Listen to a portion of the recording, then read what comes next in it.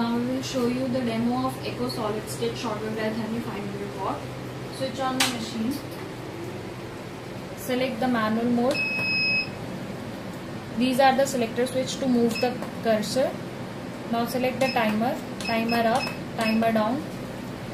Select the mode as per your need, continuous or pulse.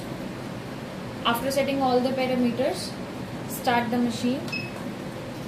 Now increase the intensity as per your need. Intensity up, intensity down. If the light glows up, that means machine is working. Make sure both the wires do not cross each other.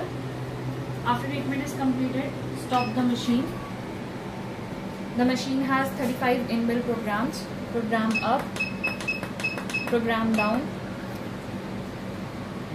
Once the treatment is completed, switch off the machine. The demo is completed. Thank